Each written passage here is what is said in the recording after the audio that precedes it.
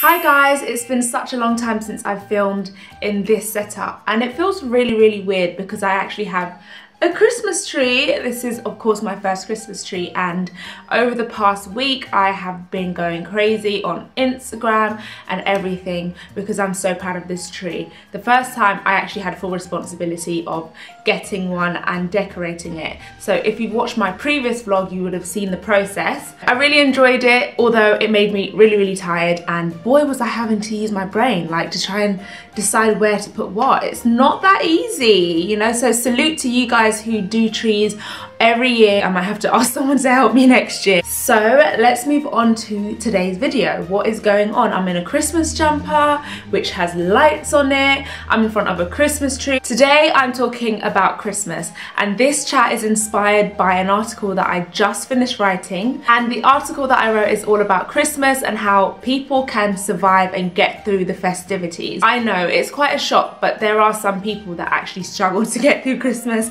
and they don't enjoy it as much as others may. Um, probably for various reasons but I mean I can only go by what I've experienced and from my experience of Christmas I've always had a pretty hectic time. My parents are not together so I've always had to split my Christmases in half right down the middle. When I was really, really young, I would have the first half of the day, the day, with my dad and my nana and my brother and my cousin. And then the second half of the day would be spent with my mummy, my gran, my cousin, my auntie. And that was my life. I literally spent half and half with two different sides of my family. and I know for many people that is so strange. You know, you sort of wake up, you're in your pajamas all day, you're staying in your house with your mum, your dad, and your siblings and then some other family members may come round but I never had a Christmas like that ever. If you guys are Caribbean, you understand how we do Christmas. so imagine getting two I cannot wait and I don't have to wait for long because it's in a week. But anyway, during my research, I realized how many people really did get bogged down during this time of year. And I always viewed it as sort of a festive time for family, for friends, just to share your love and to sort of be grateful for the people that are around you, to just chill out, zone out, relax. I mean, it's the end of the year. We all have hectic years and it's cold outside and in some instances it's snowing. So I just always viewed it as sort of like a family time, coming together and eating basics. But for many people, it's really stressful. And I think I never found it stressful because I've never hosted a Christmas before. And if you guys have ever hosted a Christmas, I salute you because now that I think about it, when I was growing up, how did everything come out so perfect? How did the timing go so amazingly? How did my parents or my grandparents keep opposing family members separate from each other. Like that is an art and I'm hoping, I'm really hoping that when I do host my own Christmases, when I have a family and so on in the future, I just pick up on these little skills. So if you are thinking about hosting Christmas this year, you might want to get a pen and paper just to put these key points down and remember it. And if you're not, Maybe this will help you appreciate those that are hosting your Christmas or it will prepare you for when your time comes because your time is going to come. It's about reindeers and Father Christmas. It's not about that. As a Christian, I believe that Christmas is about a new beginning, a new life. Jesus was born, people coming together. It was about unexpected beginnings. It was about love. It was about gifts, yes, but not spoiling children rotten. I will spoil my children, but I don't want them to be brats. It's really, really difficult to get that balance balance, but I'm nowhere near that. So anyway, the first thing that I'm gonna say to do to anyone is to plan.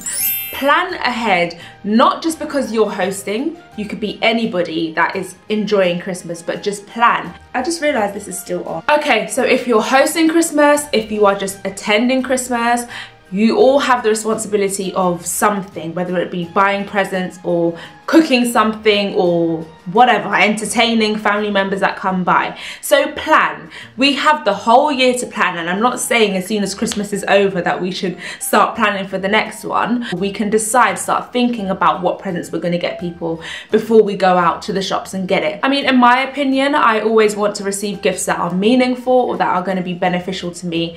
So maybe you might want to apply that thinking to others when you don't know what to get them. Plan your decor, plan who who's coming to what, plan what food you're gonna, you know, make. And if it's just your family, then fine. Plan your time off work. I know that in the office it can get really busy. Luckily for me, I don't have this problem. I can take the time off when I need to. But I know that for some people who may work in a hospital, for example, it's very difficult to get time off. You want to have some days leading up to Christmas and also some days afterwards so you can prepare and get everything organized because it is going to be a bit manic and then afterwards you can rest and look forward to the new year. The perfect Christmas is a myth, okay? Leave that to the movies and the TV shows. And you know what? The TV shows and the movies are never even perfect anyway. Where do we even get that idea from? Not everyone's gonna cooperate with you. Someone might get really drunk, someone might overeat, someone might feel ill, someone will be ungrateful for their presents, the food might get burnt,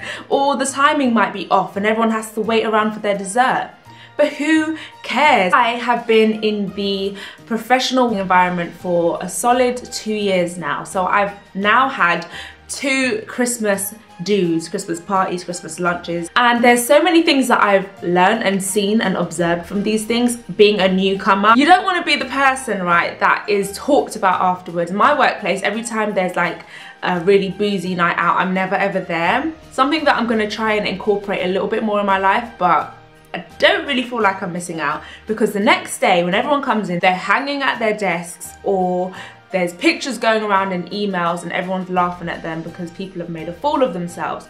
So all I'm saying, they tend to sort of mark the beginning of the festivities, right? Don't blow yourself out now because there's going to be so much more to come in the rest of the month. The next thing I'm going to say, I guess only really applies to those that are hosting, you guys that are like mature and adulting in life. I'm not there yet, I'm not hosting Christmas yet, but for you guys that are, maybe to help yourself survive through Christmas, spread the responsibility and the task so that you're not bogged down doing everything yourself. I know that it can be hard because you want it to be perfect, but remember I said, there's no such thing as a perfect Christmas. If things go wrong, let other people also take the responsibility. Why leave one job to go to another job? Christmas is about relaxing and festivities and having fun. So enjoy it. Personally, I believe that spreading love during Christmas, that's the most important thing to me above presents, above food, above just anything. During this time there are loads and loads of charities around that will be, you know, donating to people, that will be going out on the streets and helping people cooking Christmas lunches and meals for people so that they can also experience Christmas too.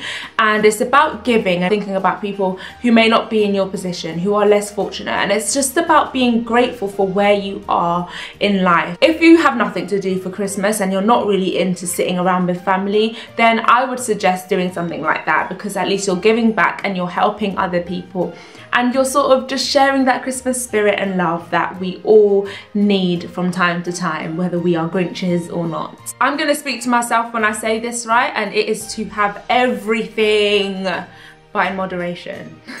Every single year I overdo it. I mean, I overdo it on a daily basis when it comes to food. I don't know what it is about me and food, but we go hand in hand. Like we just love each other, right?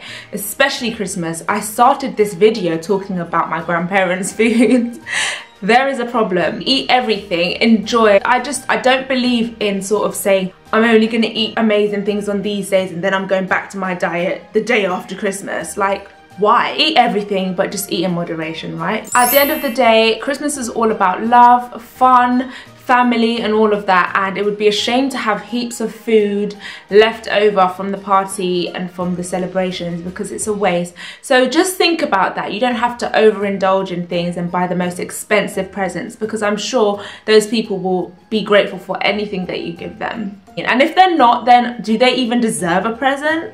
I don't think so. Don't get yourself into debt. Like I hear so much about people that have the, they have the December debt, like the Christmas debt. It's like a thing, it's a real thing. I've always just believed in living in your means, especially for Christmas. It's not a show, it's not an ordeal. It's not about going above and beyond to prove a point or to do something that doesn't come naturally.